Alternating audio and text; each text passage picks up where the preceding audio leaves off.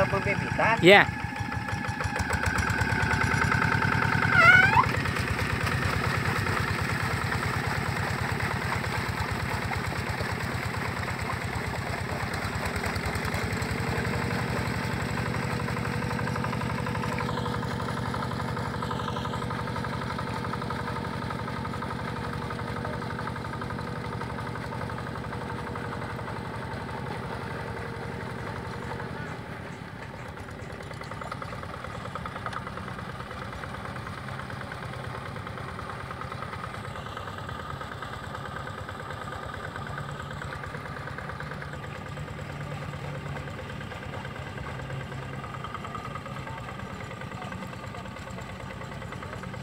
Proses pembuatan eh, lokasi untuk pembenihan padi.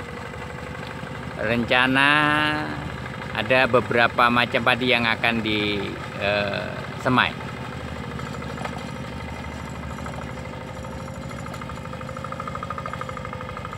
Salah satunya ada padi hitam dan black madras.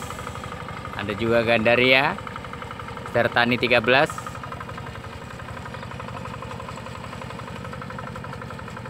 dan padi GSR